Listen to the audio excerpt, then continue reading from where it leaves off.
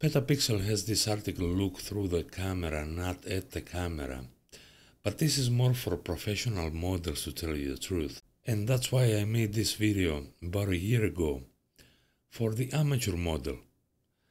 Because when you look at uh, another person's eyes, the expression on our face changes as well. So this is the principle I'm using uh, to make this video. Although tell you the truth, experience shows that the most uh, engaging portraits are usually the casual snapshots in a relaxed environment, a relaxed, happy environment. So keep doing that.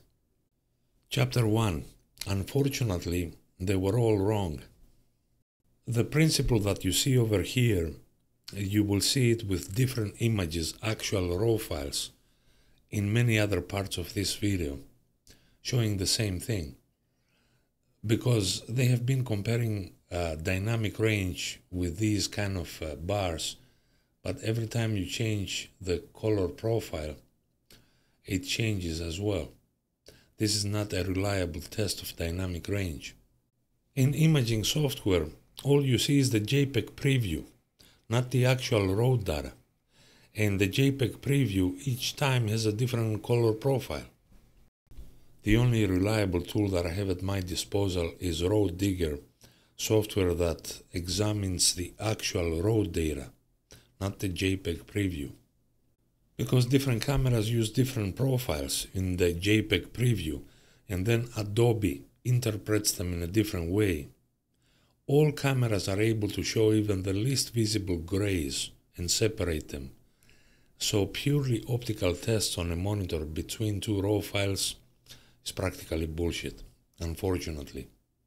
And I say unfortunately because a lot of people bought the next uh, super duper super camera based on a value that was incorrectly measured and was irrelevant to what they wanted to do. And come to think of it, unless they were testing the cameras in dynamic range in high ISO, the uh, results that they were getting at base ISO were too extreme to be believable. Because the cameras themselves performed a lot better at base ISO than these tests were indicating. Chapter 2 The Myth of the Eye's Dynamic Range. Let me start by taking down a myth that the human eye has this huge dynamic range. When you're standing in a landscape like this one, you're just standing there. What do you do in order to see details in this area? You raise your little hand and you cover the light that comes from other sources. Sometimes you raise both your little hands and make a gigantic lens hood in front of your eyes so that you concentrate in this area so that your pupils in the eye dilate and get more light in and you can see details in this area. Because if you're just standing there like that, there is too much light over here it causes your pupils to decrease in size and you cannot see details in this area anymore. You have to actively concentrate in this area. And you have to actively block the light that comes from other sources. An image like this, it's impossible to see in real life. In real life, this part of the mountains and the trees is a lot darker because there's huge light falling inside your eyes from this area. You have to raise your hand and cover the light from this area if you want to see anything over here. That's why an image like this is impossible in real life. You have never seen this. Chapter 3 Actual Theory and Actual Practice How to see the full and the compressed dynamic range of your images. And now let's go to the money saving portion uh, with things that you have probably never noticed yourselves. Igor says that DR is useful for exposure mistakes correction, and that is wrong. First of all, number one tip. How do we see an image in its full dynamic range? In Adobe Camera Raw, we hold down the Shift button, double click the whites, and double click the blacks. And that is the image in, in its full dynamic range. It's got a lot of blacks, it's got a lot of uh, whites, but nothing is overblown. Uh, check the histogram because it has changed, obviously, versus before, right? Before and holding down the shift button after.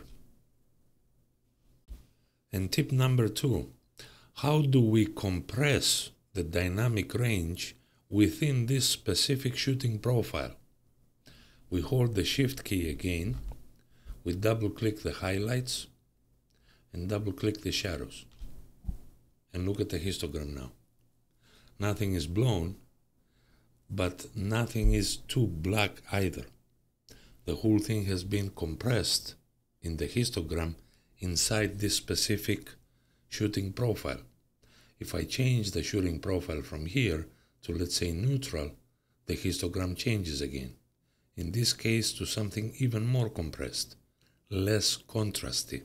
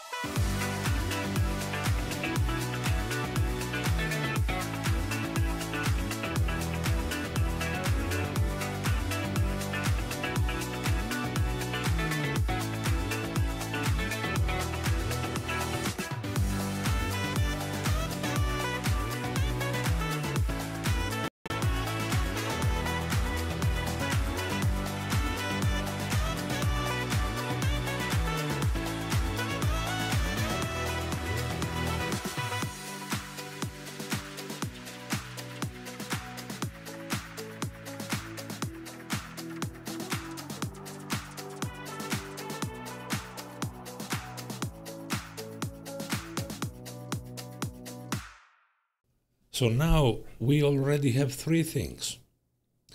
We have the dynamic range of the image, which is what we just saw, versus the dynamic range of the camera, which is impossible to determine without tools like Raw Digger and other tools, versus the capacity to bring out correct color from the deep shadows and highlights, which is probably what Igor means. And this is the part that surprised me in September of 2017 when I saw that I could take this slider all the way to the end, which is something that I do not recommend anyone doing unless they accidentally underexpose that much, and even raise the exposure and the color was still there. It didn't have any loss of color, and all the resulting noise from this intervention um, was basically white noise, which I could fix like this without even touching the default values in color noise correction. The color accuracy was astounding.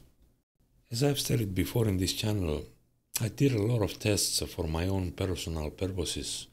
In December 2017 was the camera month, and I tested four cameras, rentals, well, two of them were rentals, the GFX and the Sony. And the Sony was a little worse than the D810 actually in recovery.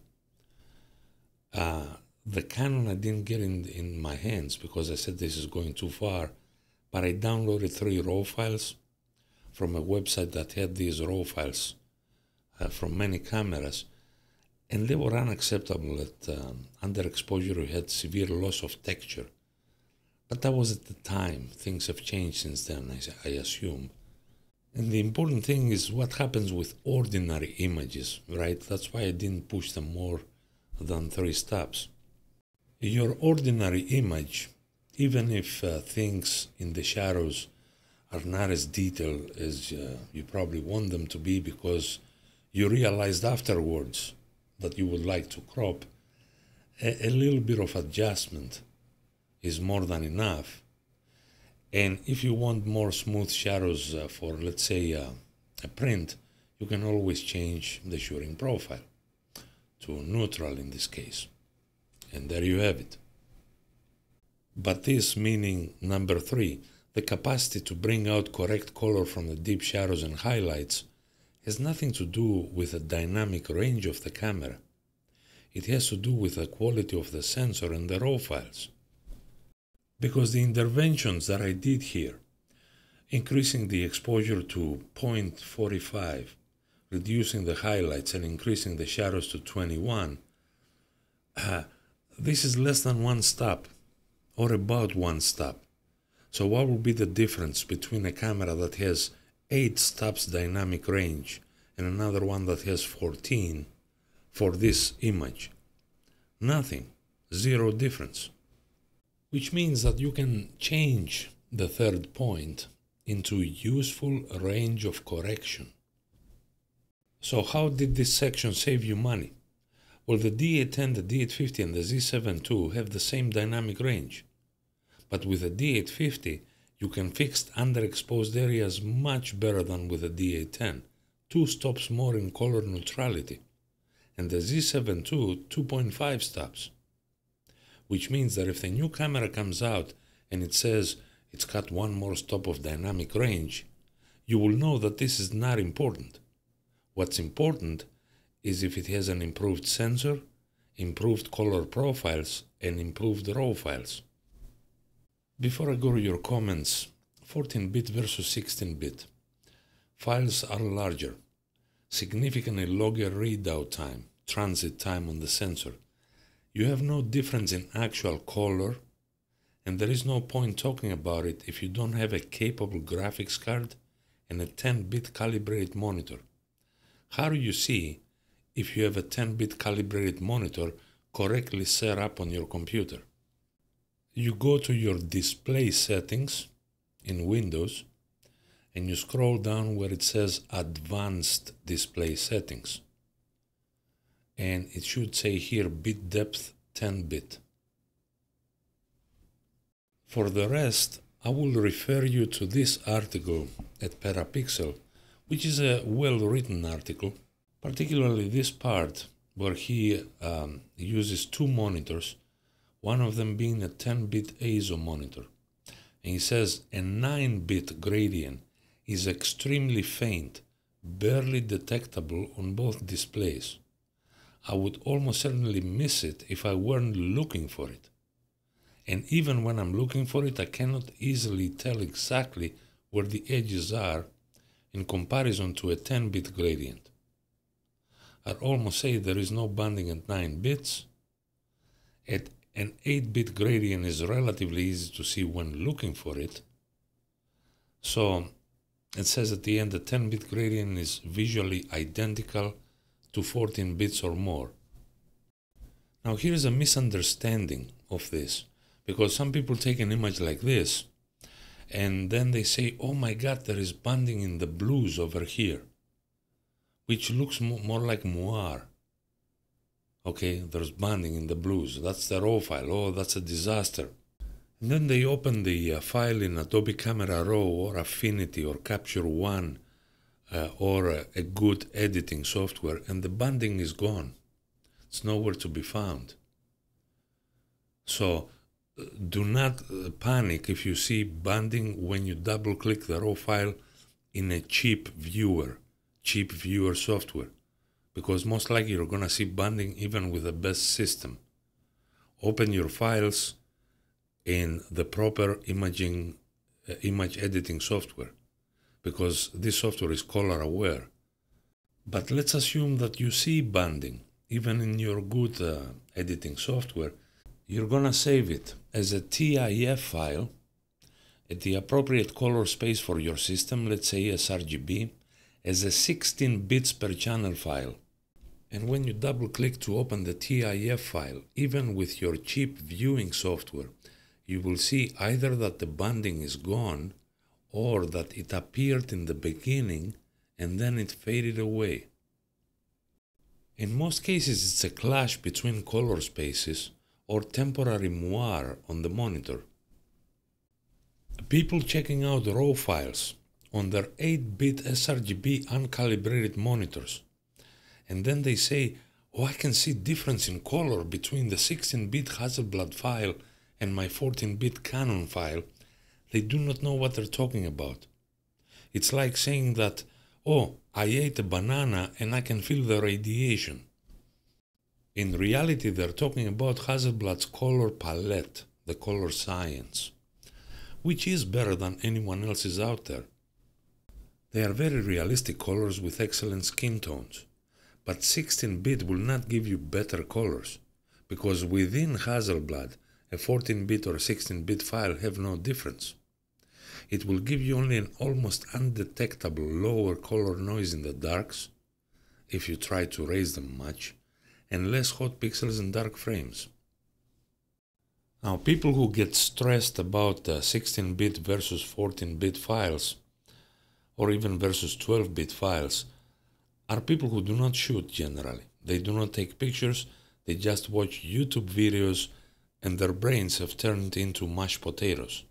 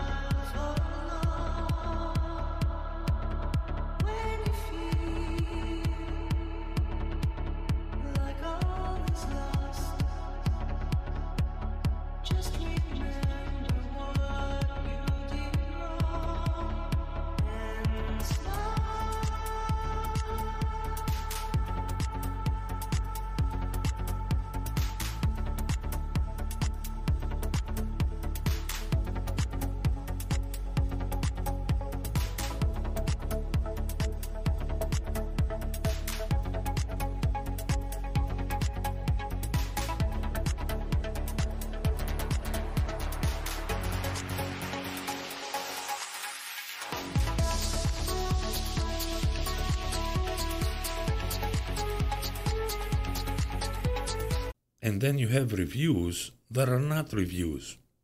In this old video over here, I started by saying, let's see how I can make it fast, because it was a brief review of these six things. And I did not include these other things to make it even longer. And that would have been a basic review of a lens. But people think that a review is a guy sitting on a desk uh, handling a lens, playing with the rings back and forth, and talking some general bullshit. Milorad. It's so easy to overdo it on the monitor. That is why in these last videos about prints, I presented a method that it's 20 to 30 seconds editing, not more. One or two sliders to get it done.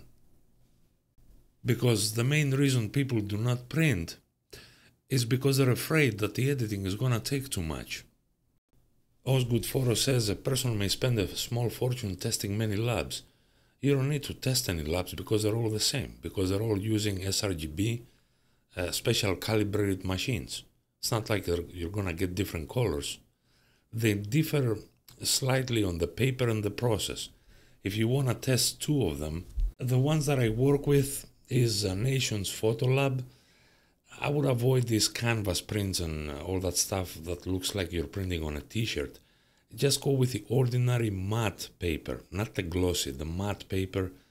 Uh, sometimes they call it luster. I will also avoid the metal. And I also work with uh. They're more convenient to me because they're closer, so the prints get here in record time. the difference between the two is really very, very minuscule, and it's mostly because of the paper. So why don't you choose five files, five by seven uh, prints from each lab, $10 to each lab plus postage, and you choose which one you like the most. So these two are my cheap labs. Cheap does not mean bad quality. I'm using these prints in my family albums. They're excellent prints. Then you have the high-end labs. They're mainly on the west coast. I use them for 13 by 19s and up, metallic and acrylic. Metallic paper, not prints on metal, metallic paper. Um, if the file is good, the print will look noticeably better than the one from the cheap lab, but not on the 5 by 7s. You gotta go a little bigger and a little flashier. As far as the small fine art labs, they're generally cheaper than the high end labs, a little cheaper, like 10%. But I will uh, talk about this in a different video. Generally speaking, uh, if you do not have a well calibrated monitor, don't even bother. Paul Marius talks about Stability AI and Midjourney, a lawsuit, and there are plenty more to come. And I wish I were a lawyer because they make money no matter what happens. At any rate, I was preparing a big segment about AI, but I'm going to say a few things very briefly. One of Silicon Valley's businesses in the last 25 years is to cannibalize other businesses and sectors. Uh, Jaron Lanier, one of uh, the leading VR personalities in Silicon Valley, keeps apologizing uh, in his speeches to musicians primarily and translators because according to his own research which was very detailed uh, they destroyed 99.8% of musicians who were earning a middle class income in the US. They destroyed them via the so called sharing economy. Sharing economy is American socialism which means that Silicon Valley can grab your content just like that, without any money, just grab it, steal it. But you cannot grab their software. You cannot even buy their software. You can only rent their software for personal use. You buy a license to use it. Number three, Google, Facebook, etc. cannot exist in any other country because they would have been regulated to the ground anybody who is from India, China, Pakistan, Japan, Germany, uh, Italy, Cyprus, Portugal, Ireland, the UK, anywhere, knows that as a fact they would have been regulated to the ground. They owe their existence to zero regulation, which is courtesy of the flyover country they're making fun of. Because it's a flyover country always that votes politicians that are against regulations. 4. If they're so fucking good, how come most of them collapse when the Fed's interest rate raises to something normal? To normal rates? How come most of them collapse? They were never that good. The Xerox Palo Alto Center guys were a lot better as scientists and as people, but they didn't become billionaires because the market circumstances were different. And these children uh, at Google, Facebook, and other places, due to market circumstances of zero interest rates and a love of Americans for young people and new technology, all of a sudden they were showered with billions. That made them arrogant. Arrogant enough to play the saints. Don't be evil arrogant enough to be asking the flyover country to bail out their bank where they have their personal accounts. So, first, they steal their data, their information, everything about them, and now they're asking them to bail out their personal bank.